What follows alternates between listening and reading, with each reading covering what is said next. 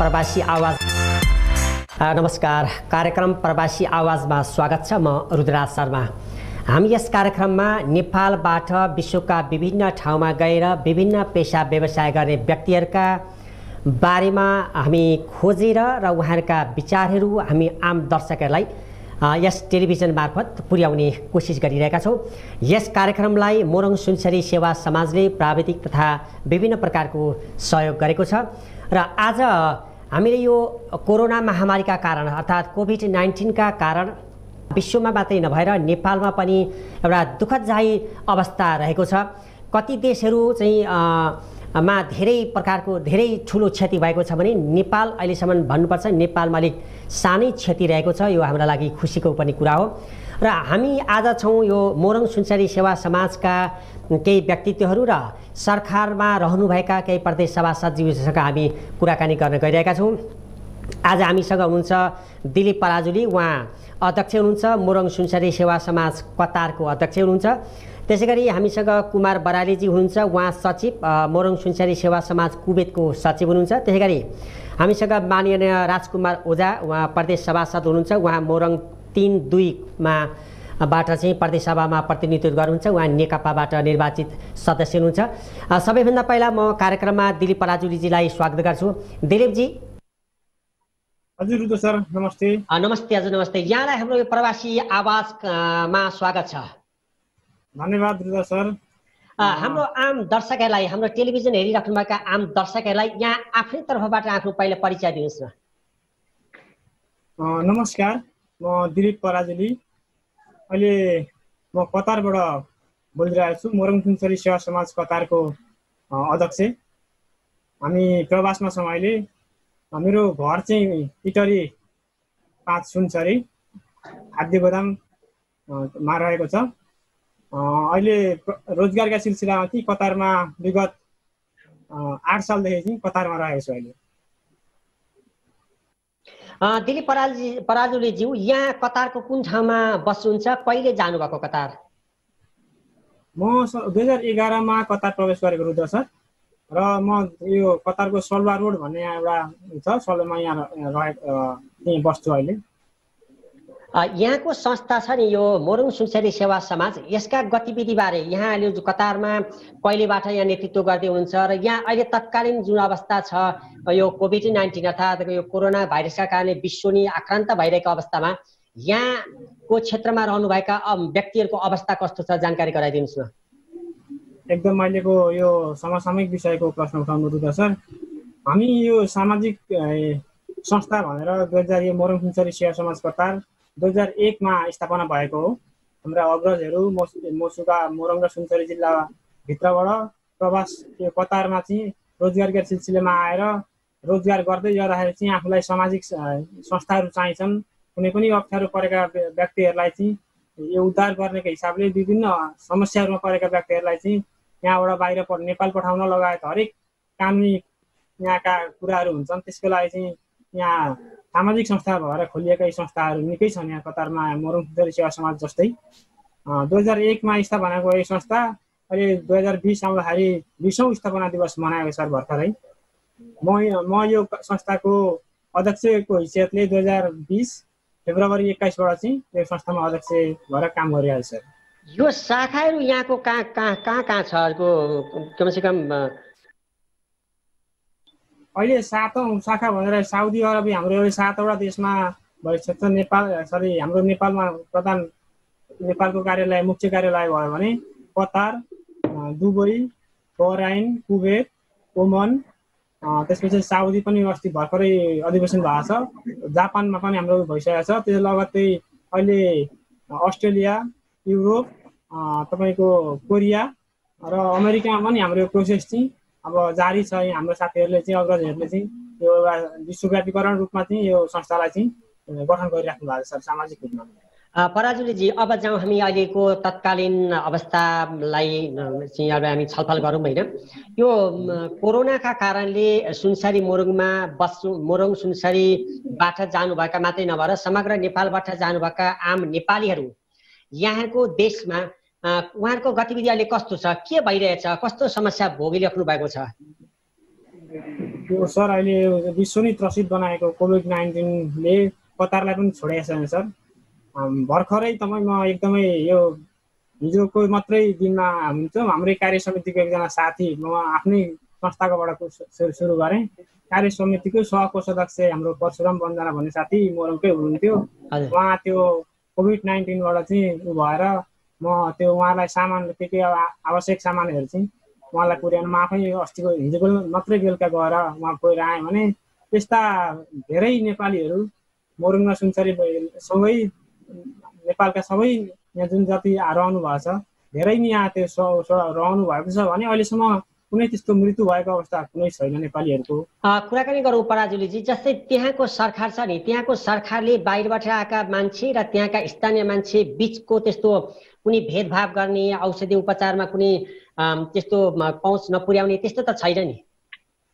जहाँसम्म लाग्छ sir Qatar सरकारले कोभिड नाइन्टिन पोजिटिभ देखिएको बिरामीहरूलाई त्यसरी विभेद गरेको पाइँदैन। किनकि धेरै साथीहरू क्वारेन्टाइनमा हस्पिटलबाट आइसोलेसनबाट क्वारेन्टाइनमा बस्नु भएको छ म स्वयं आफै पनि धेरै खेपै त्यस्ता साथीहरूलाई खाद्यान्न लगायत अर्थो केही सामानहरू म पुर्याउन गएको छु भने उहाँहरूले भनेअनुसार चाहिँ कतार सरकारले एकदमै यहाँका जति यहाँको कतारी नागरिकहरूलाई गर्नुपर्ने सुविधा दिएको छ त्यो सुविधा सबै कुनै ने नेपाल लगायत सबैका यहाँका त्यो पोजिटिभ यो रोगीहरू हुनुहुन्छ सङ्क्रमणहरूलाई सबैलाई एउटै सेम रूपमा चाहिँ गरिरहेको छ। काम सबैजनाको काम कुनै कटौती गर्ने कामबाट निष्कासन गर्ने अथवा उहाँलाई चाहिँ अहिले काम नदिने भन्ने त्यस्तो त छैन निरन्तर यहाँहरू काममा हुनुहुन्छ?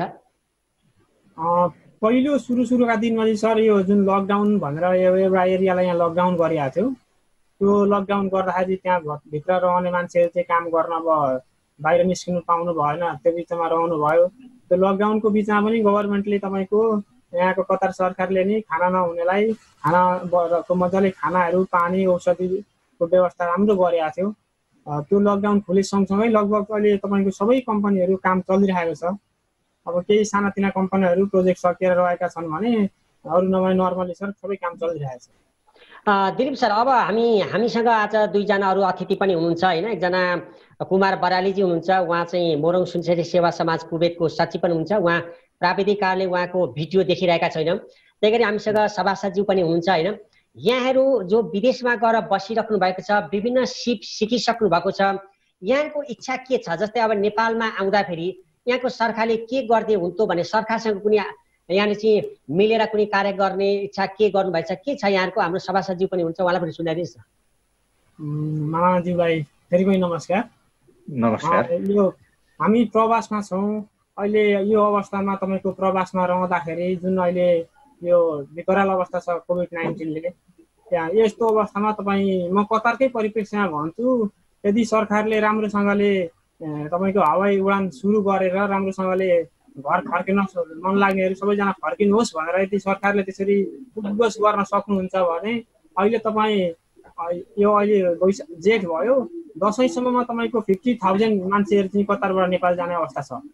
मान्छेमा एउटा त्यो दिलीप सर म यहाँलाई रोकिहाल्छु होइन एकछिन जस्तै लाखौँ रुपियाँ खर्च गरेर यहाँबाट जानुभएको छ होइन? उहाँहरूको भिसा अवधि छ टाइम छ। त्योभन्दा पहिल्यै पनि आउन इच्छा गर्नुहुन्छ उहाँहरूको कि आफू काम सकेका मान्छे हुन् जो पचास हजारका कुरा गर्नुभयो यहाँले होइन त्यो भिसा सकिएका अब मान्छे सबैमा त्यसो हुनुहुन्न।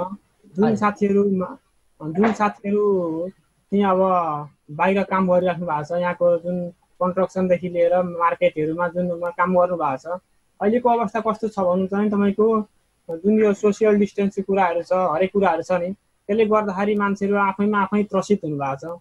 अब यो त्यस्तोले गर्दाखेरि यदि राम्रोसँगले हामी देश फर्काउन पाए देशमा त्यस्तो रोजगारको सिर्जना हुन सके हामीले यहाँ सिकेको सिपहरू त्यहाँ गएर गर्दाखेरि किन हुँदैन भन्ने एउटा साथीहरूमा एउटा आत्मा चाहिँ त्यसरी बढाएको छ धेरै साथीहरूको सुन्दाखेरि चाहिँ। दिलीप सर मैले यहाँलाई एकछिन यहीँ रोकेँ होइन यहाँ पनि सुन्दै गर्नु होला म सभासदज्यूसँग कुराकानी गर्छु र सभासदज्यूले दिएको जवाब यहाँको संस्था अथवा विदेशमा गएर बस्नुभएका व्यक्तिहरूलाई कतिको प्रभावकारी हुन्छ उहाँसँग कुराकानी गर्नु होला।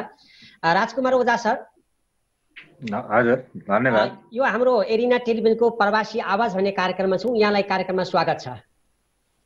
धन्यवाद आम एरिना टेलिभिजन हेरिरहेका आम दर्शकहरूलाई यहाँले पहिला आफ्नै तर्फबाट आफ्नो परिचय दिनुहोस् न। म राजकुमार ओझा मोरङ क्षेत्र नम्बर तिन दुई। मेरो घर चाहिँ सुन्दर हरैचा नगरपालिका अन्तर्गत वार्ड नम्बर एघारमा पर्छ।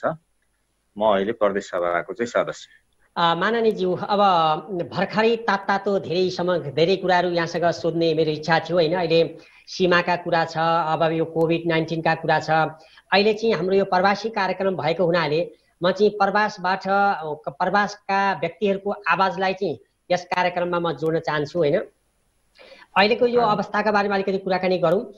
हाल यहाँको प्रदेश अन्तर्गत यहाँको जुन क्षेत्र छ क्षेत्रमा यो कोभिड नाइन्टिन अर्थात् कोरोना भाइरसकाबाट कति प्रभावित हुनुहुन्छ यहाँका जनताहरू?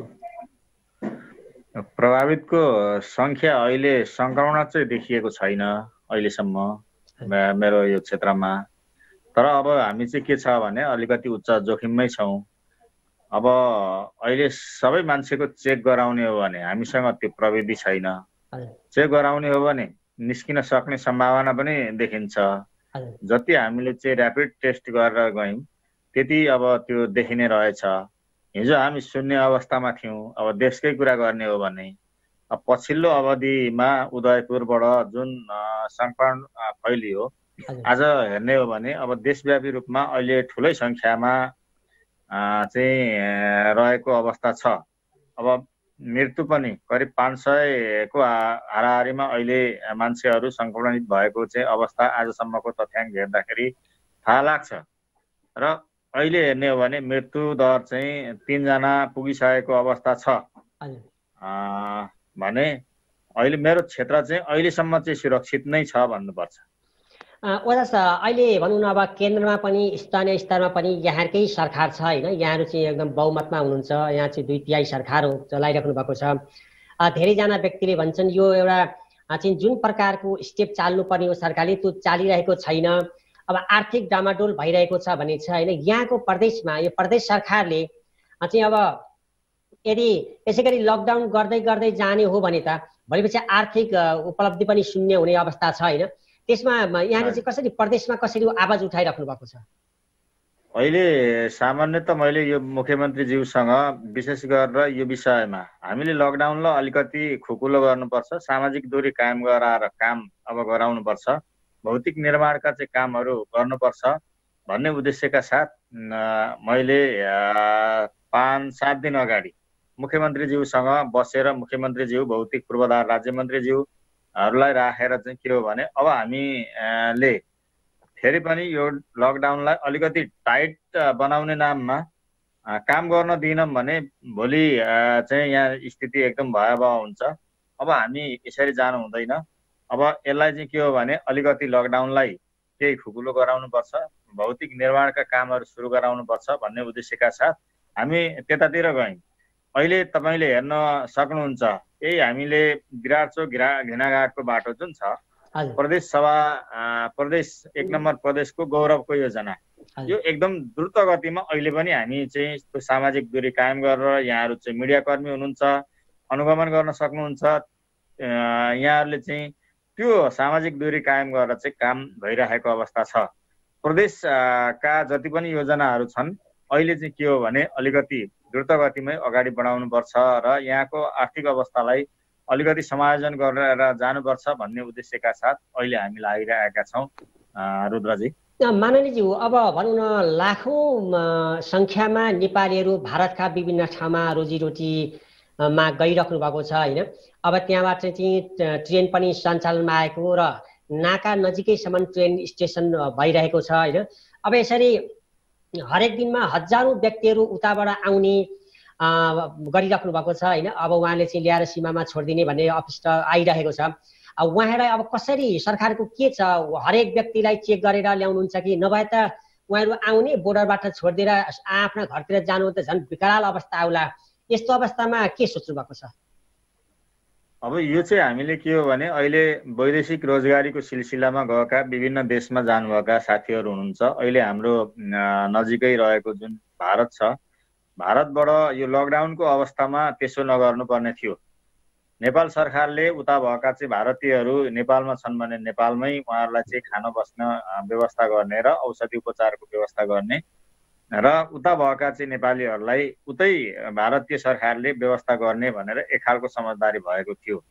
तथापि पनि अहिले चाहिँ मिडियामै हामीले चाहिँ सुनेका छौँ। हामीले त्यसरी हाम्रो गाउँघरमा भएका मान्छेहरू त अहिले आइपुगेको अवस्था छैन। अब ती मान्छेहरूलाई नाकामा ल्याएर चाहिँ छोडिदिने जुन अवस्था छ अब यसबाट चाहिँ स्थिति अलिकति भयावह हुने पनि अवस्था छ। यसलाई चाहिँ हामीले आज चाहिँ प्रदेश सभाका चाहिँ हाम्रो माननीय सभामुखज्यू केही मान्छेहरूलाई हामीले राखेर पनि के कुरा गरेका छौँ भने उहाँहरूलाई क्वारेन्टाइनको व्यवस्था चाहिँ अलिकति अब व्यवस्थापन गर्नु पर्यो। अब अवस्था कुन अवस्थाको मान्छे छ? एकदम दयनीय अवस्था छ जो चाहिँ हिजो रोजीरोटीको लागि गएको छ भने त्यस्ता मान्छेहरूलाई हामीले अब नि शुल्क रूपमा उहाँहरूलाई खान बस्न सबै व्यवस्था गर्नुपर्ने हुन्छ। जो अलिकति केही चाहिँ छ मसित केही गर्न चाहन्छु गर्न सक्छु भन्ने अवस्थाका मान्छेहरूलाई हामीले चाहिँ के हो भने अब होटलहरू छन् ती होटलहरूमा पनि लगेर चाहिँ राखेर उहाँहरूले चाहिँ कम्तीमा पनि खानाको लागि चाहिँ आफै व्यवस्था गर्ने र उहाँहरूलाई बस्नको व्यवस्था गरेर त्यो सुविधा दिनुपर्छ। सबै मान्छेलाई चाहिँ हामीले अहिले ल्याएर चाहिँ एकै ठाउँमा थुन्ने एकै ठाउँमा राख्ने हो भने तपाईँले तपाईँको मिडिया मार्फत हामीले क्वारेन्टाइनबाट चाहिँ धेरै मान्छेहरू पनि भागेको अवस्था चाहिँ देखेका छौँ। र ती मान्छेहरू चाहिँ गाउँघरमा गएर चाहिँ एउटा सङ्क्रमण फैलाएको अवस्था पनि हामीले अहिले देखिरहेको अवस्था छ। त्यसलाई चाहिँ हामीले अब अन्त्य गरेर जानुपर्छ र सबै मान्छेहरूलाई चाहिँ अब के हो भने उनीहरूको चाहिँ अवस्था हेरी हामीले चाहिँ काम गर्नुपर्छ। जो दयनीय अवस्थाहरू छन् गरिब छन् विपन्न छन् ती मान्छेहरूलाई चाहिँ हामीले क्वारेन्टाइनको नाममा चाहिँ भेडा बाख्रा चाहिँ थुपारे जस्तो थुपार्नुहुन्न अब यो स्थिति चाहिँ के छ भने अघि कतारबाट पनि साथी भन्दै हुनुहुन्थ्यो। म जाँदैछु केही पछि म त्यहाँ पनि जाँदैछु। उहाँले हाम्रो दिलीप पराजुलीजी हुनुहुन्छ जो कतारबाट उहाँले केही बेर के के भन्नुभयो भने लगभग दसैँसम्ममा पचास हजार व्यक्ति चाहिँ पचास हजार मान्छे चाहिँ आउने चाहिँ कुरा दिल्लीजीले पनि गर्दै हुनुहुन्थ्यो। यसलाई यसलाई के गर्ने भन्ने विषयमा चाहिँ के हो भने अब नेपालमा पनि यो सङ्क्रमणको दर चाहिँ दिन दुई गुणा रात चौगुणा हुने अवस्था छ। यदि चाहिँ भोलि चाहिँ कतारमा यो शून्यको अवस्थातिर झरो जस्तै चाइनाको जस्तो अवस्थातिर झरो भने नेपालीहरू चाहिँ फेरि के गर्दैनन् भने नेपाल आउने चाहिँ प्रयत्न गर्ने छैनन् भन्ने मलाई लाग्छ। त्यो मैले विश्वास लिएको छु। किनभने अहिले यहाँ चाहिँ हिजो सङ्क्रमण थिएन। यहाँ शून्य दरमा थियो। अब सबै नेपालीहरू के गर्थे त भन्दाखेरि नेपाल आफ्नो देश चाहिँ फर्किने चाहिँ अवस्था थियो। तर यहीँ चाहिँ त्यो चाहिँ रोगीहरूको चाहिँ सङ्ख्या एकदम वृद्धि हुँदै गयो र मान्छेहरू चाहिँ भटाभटी चाहिँ मर्न थाल्यो भने के हुन्छ भने त्यो दर चाहिँ हाम्रो चाहिँ घट्छ। त्यसलाई हामीले त्यो ढङ्गले पनि हेर्नुपर्छ। अब तथापि पनि जो नेपालीहरू हुनुहुन्छ विभिन्न मुलुकमा चाहिँ बसेर उहाँहरूले चाहिँ दुःख गर्नुभएको छ। त्यसको चाहिँ दायित्व के हो भने नेपाल सरकारले ती सबै मान्छेहरूलाई आफ्ना नागरिकहरूलाई सुरक्षा गर्ने नागरिकको चाहिँ सुरक्षा दिने त्यो दायित्व चाहिँ फेरि पनि सरकारको अभिभावक भएको नाताले सरकारले ती सबै जनताको चाहिँ जिम्मेवारी लिनुपर्छ। माननीयज्यू मैले केही बेर केही योभन्दा पहिलाको एपिसोडमा चाहिँ कुराकानी गरेको थिएँ। हाम्रो यस संस्थाका अध्यक्षहरूसँग सल्लाहकारसँग संस्थापक अध्यक्षहरूसँग। उहाँले के भन्नुभयो भने सरकारले चाहिँ वैदेशिक रोजगारमा गएका नेपालीबाट आएको रेमिटेन्सले को बारेमा चाहिँ एकदम पहिला ठुल्ठुला कुरा गर्ने हाम्रो चाहिँ रेमिटेन्स जानुभएको छ। उहाँहरू नेपाली दाजुभाइले कमाएकोले चाहिँ देशको अर्थतन्त्र धानेको छ भन्ने। तर आपतकालीन अवस्थामा चाहिँ विभिन्न बाहनामा चाहिँ यसलाई चाहिँ सकेसम्म नआइदिए हुन्थ्यो अलिक टार्न पाए हुन्थ्यो भन्ने छ भन्ने छ। त्यसमा के के भन्नुहुन्छ यहाँ? यस्तो हो अब त्यो कसैले टार्ने सक्ने अवस्थै होइन। अब यो विश्वमा चाहिँ एउटा महामारीको रूपमा फैलिएको जुन कोभिड नाइन्टिन छ अब यसमा चाहिँ के हो भने कसैले यो चाहेर अहिले तत्काल कुनै अब देशहरूले सय पचास एक दुई सय मान्छेहरू चाहिँ छन् ती मान्छेहरू ल्याउन सक्ने अवस्था हुन्छ। हाम्रै पनि विद्यार्थीहरू हिजो जहाँ चाहिँ सुरुवात अवस्थामा थियो चाइनामा रहेका केही विद्यार्थीहरू थिए ती विद्यार्थीहरूलाई चाहिँ के हो भने त्यो सङ्क्रमण त्यहाँ चाहिँ फैलिसकेपछि तत्काल नेपाल सरकारले उद्धार गरेर ल्याएको थियो। त्यो चाहिँ के थियो भन्दाखेरि सानो सङ्ख्यामा थियो। आज एउटै देशमा कतारमा हेर्ने हो भने चाहिँ पचास हजारको हाराहारीमा छ साउदीमा होला अर्को देशमा होला विभिन्न देशहरूमा चाहिँ ठुलो सङ्ख्यामा छन्। हामीले कतिवटा चाहिँ प्लेनहरू चाहिँ चार्टर गर्ने। अहिलेको अवस्था त्यो छ कि छैन। अन्तर्राष्ट्रिय चाहिँ मापदण्ड अनुसार हामीले चाहिँ त्यो बाटो चाहिँ हामीले प्रयोग गर्न पाउने अवस्था छ कि छैन त। भोलि हामीले चाहिँ के हो भने अहिले भएका नागरिकहरूलाई चाहिँ औषधि चाहिँ उपचार गर्न सक्ने अवस्था बनेको छैन। भने हामी के हो भने पहिलो चरणमा चाहिँ औषधि उपचारको चाहिँ पूर्ण रूपमा चाहिँ व्यवस्था गर्नुपर्छ। नागरिकलाई सबै चाहिँ सुरक्षित गर्नुपर्छ र आफ्ना नागरिकहरूलाई यदि उहाँहरूले चाहिँ फिर्ता हुन चाहनुहुन्छ भने ती नागरिकहरूलाई हामीले चाहिँ ल्याउनुपर्छ। उहाँको उहाँको चाहिँ रेमिटेन्सबाट चाहिँ हामीले जुन मुलुक सञ्चालन गरेका छौँ भने उहाँलाई अहिले के हो भने खालि नारामा मात्र सीमित राखेर उहाँहरूले चाहिँ हिजो हामीलाई चाहिँ यति चाहिँ दिनुभयो अहिले हामीले चाहिँ नागरिकलाई चाहिँ दुःख दिने त्यो काम हामीबाट चाहिँ गर्नु हुँदैन सरकारले त्यो काम गर्नु हुँदैन। र अहिले चाहेर पनि यो नयाँ रोग औषधि चाहिँ नभएको सबै हामी सुन्ने अवस्थामा थिएनौँ र चाहिँ रुद्रजी हिजो हामी हेर्ने हो भने पन्ध्र बिस दिन अगाडि चाहिँ हामी चाहिँ के थियो भन्दाखेरि कोभिड नाइन्टिनको विषयमा चाहिँ हामीलाई केही ज्ञान पनि थिएन औषधि पनि थिएन चेक गर्ने हाम्रा कुनै सामग्रीहरू थिएनन्। यति ठुलो चाहिँ अब सरकारले चाहिँ गरेन भन्ने त भनिराखिएको छ। यति ठुलो चाहिँ सङ्ख्यामा आज चाहिँ महामारी फैलिसकेको अवस्था छ तर धेरै मान्छेको चाहिँ चेक गर्ने अवस्था चाहिँ बनेको छ। बाहिरबाट औषधि भित्र्याएर ल्याएर त्यो काम चाहिँ सरकारले गरिराखेको छ भने अब बाहिर विदेशमा रहनुहुने साथीहरूले पनि अलिकति धैर्यता गर्नुहोस्। हाम्रो अवस्था के छ? हाम्रो जनशक्ति के छ? हामी हाम्रो चाहिँ मेन पावर के छ? त्यो सबैलाई चाहिँ हामीले चाहिँ मध्यनजर राख्दै हामीले चाहिँ काम गर्नुपर्छ। तपाईँहरूको चाहिँ पक्षमा काम गर्नुपर्छ। तपाईँहरूले चाहिँ तपाईँहरूसँग भएको पुँजी प्रविधिलाई हामीले चाहिँ के हो भने उपयोग गर्नको लागि अब हामीले तिनवटा क्षेत्र हामीले हिजो चाहिँ प्रदेश नम्बर एक मैले प्रदेश सरकारको कुरा गर्नुहुन्छ भने प्रदेश नम्बर एकले तिनवटा क्षेत्रमा हामीले चाहिँ पहिलो प्राथमिकता दिएर अगाडि बढ्नुपर्छ भनेका थियौँ। पहिलो जलविद्युत कृषि र पर्यटन। अब अहिलेको अवस्थामा पर्यटन चाहिँ के भयो भने शून्य अवस्थामा छ। हामीसँग सम्भावना भएका चाहिँ क्षेत्रहरू भनेको दुईवटा क्षेत्रहरू रहेका छन् हामीसँग। पहिलो कृषि र दोस्रो चाहिँ हाम्रो जलविद्युत। अब एकदम ठ्याक्कहरूले मैले खोजेकै कुरा यहाँले भन्दै हुनुहुन्छ। अलिकति यसलाई म प्रश्न पार्छु। जस्तै दिलीपजीले मात्रै नभएर विदेश जानुभएका धेरैजना व्यक्तिले चाहिँ के भन्नुभएको छ भने उहाँको यो सुनसरी मोरङ सेवा समाजको उद्देश्य नै विदेशमा गएर सिप सिकेको कुरालाई हामी नेपालमा चाहिँ प्रयोग गर्छौँ। यसमा सरकारले सहयोग गर्नु पर्यो भन्नु भन्ने उहाँको माग यो विषयमा आउँदैछु यहाँले पनि सेम कुरामा चाहिँ जोड दिँदै हुन्छ यसलाई जोड दिनुहोस् न अब यो विषयमा हामीले के गरेको छ भने अहिले सङ्घीय सरकार मार्फत नै जो विदेशबाट आउनुभएका साथीहरू हुनुहुन्छ जो चाहिँ आफूसँग सिप छ त्यो सिप हुने साथीहरूलाई हामीले न्यूनतम रूपमा प्रति व्यक्ति दस लाख रुपियाँ एउटा मान्छेलाई चाहिँ बिना धितो हामीले चाहिँ ऋणको व्यवस्था गर्ने। जो महिलाहरू सबैजना पर्नुहुन्छ। हजुर सबै सबैजना पर्नुहुन्छ। विदेशबाट आउनुभएका र उहाँहरू करिब यो दुई वर्षको अन्तरालमा उहाँहरू चाहिँ आएका सिप र पुँजी प्रविधि भएका मान्छेहरूलाई के गरेको छ भने दस लाख रुपियाँ बिना दितो अनि त्यहाँबाट बिस लाख गर्दै हामीले केही गर्न चाहने उहाँहरूको चाहिँ आफ्नो चाहिँ पूर्जा धरोटी राखेर चाहिँ गर्न चाहने मान्छेहरूलाई चाहिँ के हो भने पाँच करोडसम्म चाहिँ के हो भने उहाँहरूलाई लोन दिने।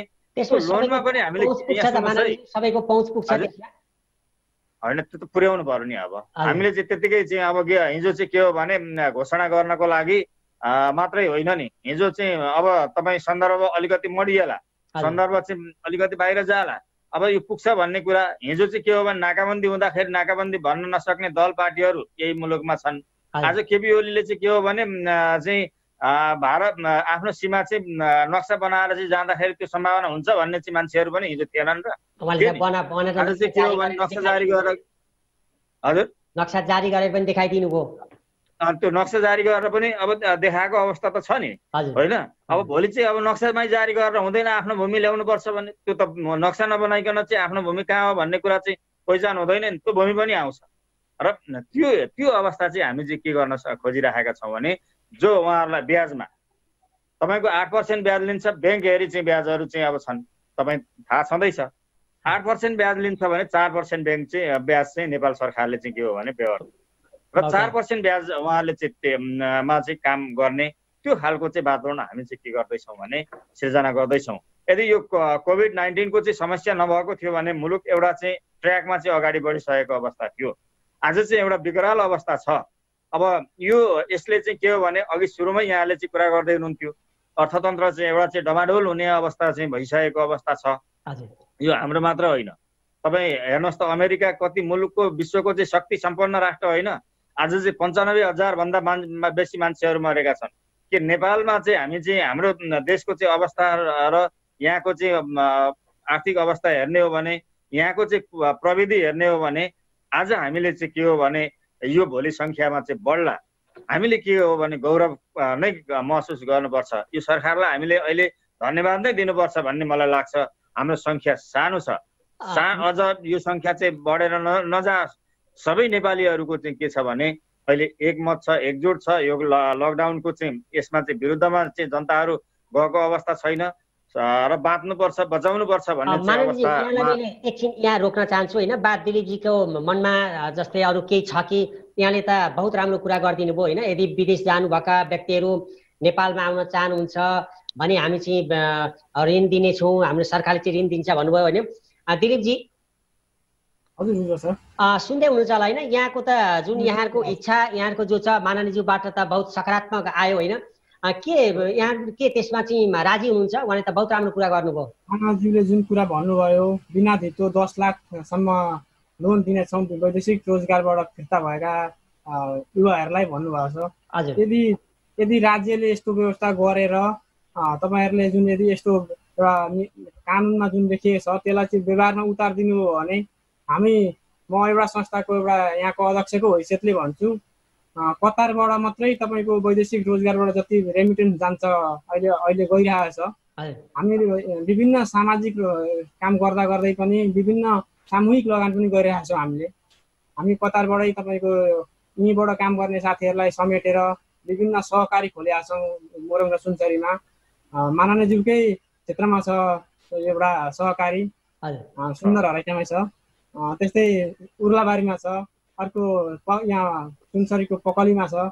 यस्ताहरू काम गरिरहेका छौँ भने यदि सरकारले नि यस्तो यति यस्तो राम्रो खालको एउटा बजेट चाहिँ विदेशबाट फिर्केका युवाहरूलाई त्यसरी दिनु हो भने हामी यो प्रवासमा जुन अहिले मिहिनेत गरिरहेका छौँ जुन एउटा आफ्नो मिहिनेतले काम गरिरहेका छौँ त्यो मिहिनेत चाहिँ हामी आफ्नै देशमा बगाउँथ्यौँ र देशलाई चाहिँ जुन एउटा आर्थिक रूपमा जति अगाडि बढाउन सकिन्छ त्यो चाहिँ बढाउने अगाडि लान सकिन्थ्यो भन्ने चाहिँ प्रवासीको चाहना हो।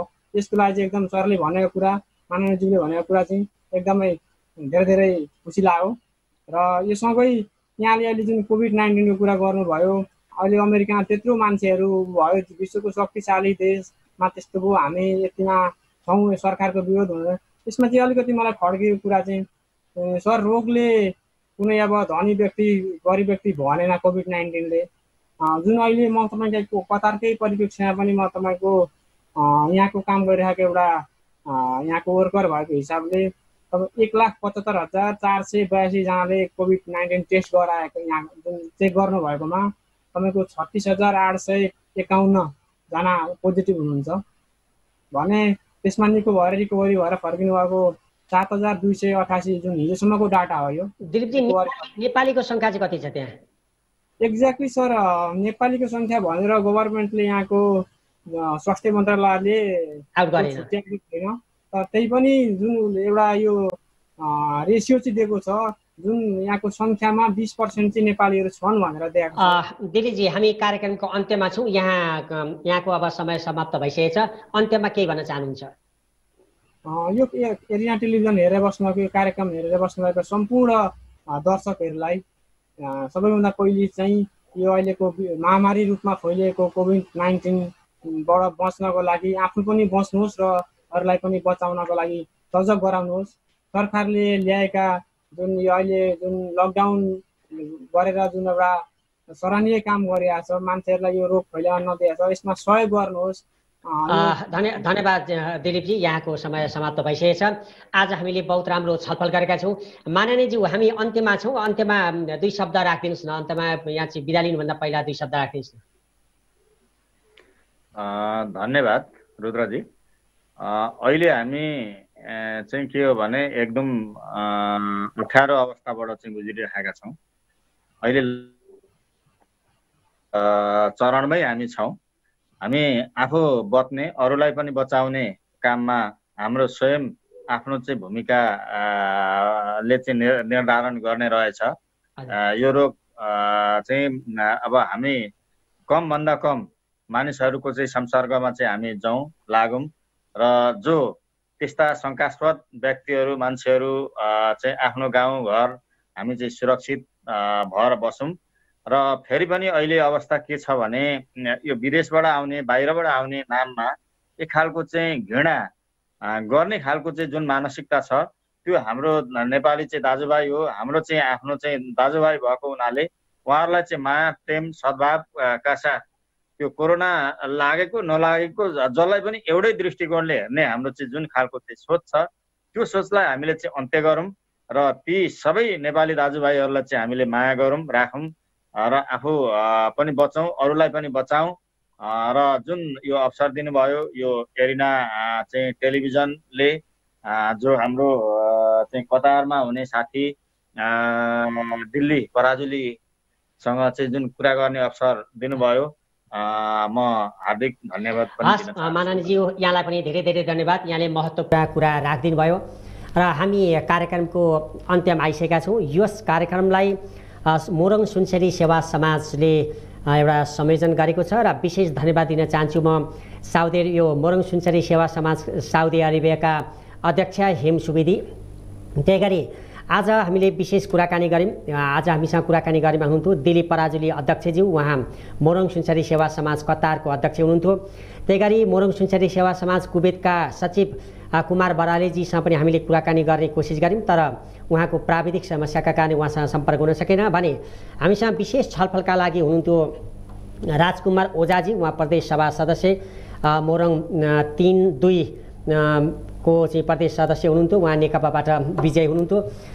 हामी यो कार्यक्रममा नेपालबाट विभिन्न देशमा जानुभएका व्यक्तिहरूको आवाज। उहाँहरू के कसरी रहँदै हुनुहुन्छ? उहाँहरूको कस्तो के समस्या छ? यिनी कुरालाई समेटेर तयार पारेको यो कार्यक्रम चाहिँ प्रवासी आवाज हो। यो कार्यक्रम यहाँले हरेक दिन अथवा हरेक हप्ता यसै समय अर्थात् आज आइतबार बेलुका नौ बजेदेखि दस बजेसम्म र पुनः प्रसारण यहाँले सोमबार दिउँसो दस बजेदेखि एघार बजेसम्म एरिना टेलिभिजनमा हेर्न सक्नुहुनेछ। र यहाँहरूका पनि यस कार्यक्रमप्रति कुनै प्रकारको सल्लाह सुझाव र प्रतिक्रिया भएमा यस स्टुडियोको यस टेलिभिजनको स्टुडियोको नम्बर शून्य पच्चिस पाँच असी शून्य चालिसमा सम्पर्क गर्न सक्नुहुनेछ र म कार्यक्रम प्रस्तुता रुद्राज शर्मालाई पनि यहाँले चाहिँ सल्लाह सुझाव प्रतिक्रिया दिनुहुन्छ भन्ने आशा गर्दै यस कार्यक्रमलाई प्रविधिमा सहयोग गर्नुहुने दिपेश रसाइलीजी त्यही गरी क्यामेरामा सहयोग गर्नुहुने भाइ कुशल कार्कीजी र विशेष सहयोगीमा बि हाम्रो विजय पराजुलीजीलाई विशेष धन्यवाद दिँदै म कार्यक्रम सञ्चालक रुद्रा शर्मा यहाँबाट बिदा चाहन्छु। एरिना टेलिभिजनको हेर्दै गर्नुहोला। शुभरात्रि। नमस्ते। प्रवासी आवाज।